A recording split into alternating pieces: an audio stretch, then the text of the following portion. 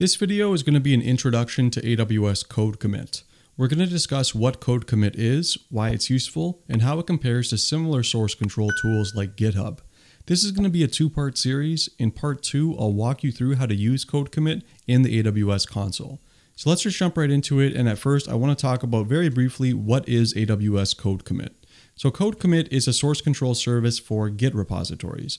And for those of you that aren't familiar with what source control is, it's just a practice of tracking and managing changes to code over time. It's also a place where we can store our source code, where we can view it, search for things, interact with it, so on and so forth. So Code Commit is an option for AWS users to host their source code on. Now, by using Code Commit and AWS in general, you're going to take advantage of the fact that your source code is going to be secure, highly scalable, and fully managed. After all, you are using the AWS cloud, which copies and replicates your data through multiple different availability zones. So availability and scaling are definitely not a concern with using Code Commit and it includes familiar tools like code browsers via the AWS console for viewing, and things like viewing repositories, pull requests, and of course collaborating with your peers when looking at revisions and requesting changes. Now Code Commit also allows you to use your existing Git CLI and all the familiar tooling that you may have already set up around using Git. So there's plugins that are available on things like Visual Studio Code and IntelliJ IDEA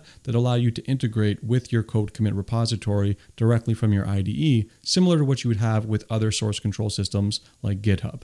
Now, the special thing about Code Commit is that it integrates well with other AWS services, the code pipeline being the one that you'll probably be integrating the most with, but also other ones like Simple Notification Service and Lambda functions. And we're going to get into that a little bit more in the upcoming slides. So that's a brief overview of what Code Commit is. I want to take a couple moments now just talking about the so what in this or why Code Commit is important in the ecosystem of AWS. And it has to do with AWS Code Pipeline, which is a CI or continuous integration and CD or continuous deployment tool on AWS that allows you to orchestrate applications from the source control to the build to the deployment steps. And so in a typical code pipeline, it consists of multiple stages. The first one is that source step. And using code pipeline, you have the option of using, of course, AWS code commit. Now you can also integrate with external tools like GitHub and Bitbucket and some other ones as well, but code commit is the one that's offered through AWS directly. Now the second typical step is the build step, and you would accomplish the build step using AWS code build.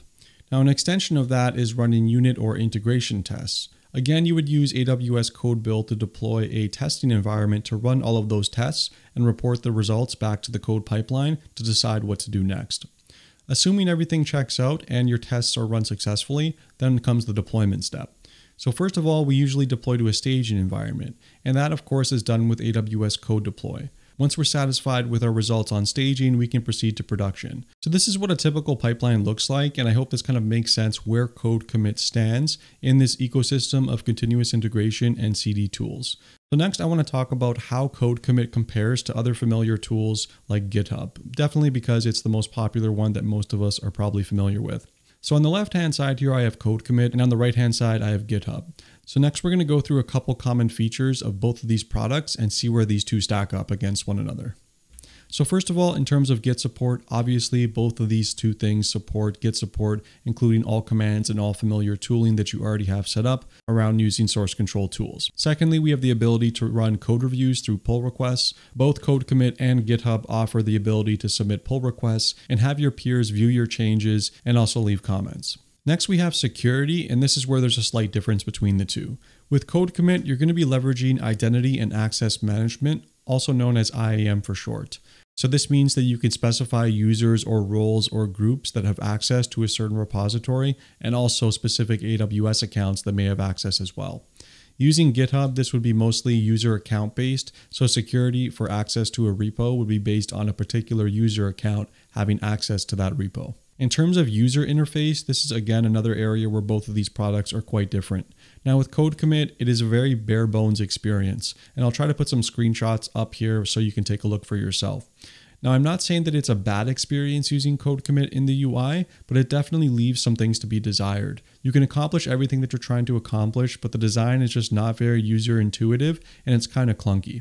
In terms of GitHub, it's definitely design oriented, and you can tell that the developers knew what they were doing in the design category. Everything is located in an intuitive space, and it's definitely a more pleasuresome experience to use over code commit. In terms of AWS integration, we briefly touched on this, but of course, this is supported both for code commit and GitHub. In terms of triggers, triggers are also supported through code commit via SNS or simple notification service. Using SNS, you can capture changes to your repositories, including pull requests, including pushes, and other events that are related to your repos, and then connect your SNS topic to either an email or maybe a Lambda function so that you can take some very specific actions in response to changes to your repositories. The counterpart offering in GitHub is webhooks, which allow you to perform some very similar functionality.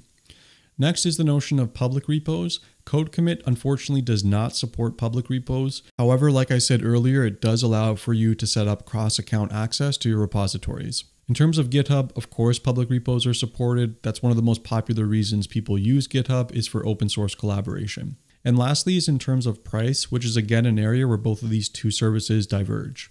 With Code Commit, it's very cheap. In fact, the first five users are totally free to use Code Commit, and for every user after that, it's just an extra $1 per user. You also get something like 5 gigabytes of free storage. With GitHub, it's definitely more expensive. They use a tiered model, and most folks that are operating in a team environment probably want to use the team tier, which costs today $40 per user per year. So you can definitely see where the cost diverges between these two things. Honestly speaking, I'm not married to either of these two solutions. I can honestly pick either one and still be happy. I would suggest though, if you're already familiar with using one over the other, then just go with that. You're probably going to save yourself a lot of headaches in the future. And of course, if you want to stay completely within the AWS ecosystem, then go with Code Commit and you'll probably be fine. One thing I forgot to mention is that both of these two different tools support migration. So you can migrate your repositories from Code Commit to GitHub or from GitHub to Code Commit if you're not satisfied at any point. Now, just to close things out, I wanted to briefly talk about some additional features that I thought you should know about.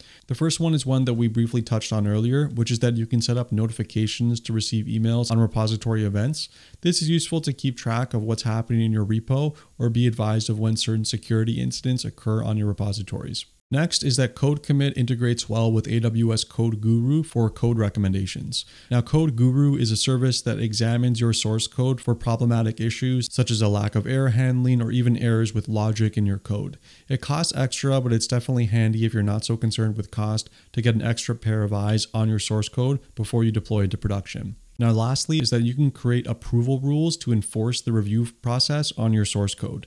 And this can include a number of reviewers setting where you can specify a number of reviewers that must approve your source code prior being able to merge the pull request into mainline. And you can also set this up such that the reviewers must be part of a specific IAM group. So for instance, you can set this up where you say you want two reviewers for every pull request. However, those two reviewers must belong to a senior developer group.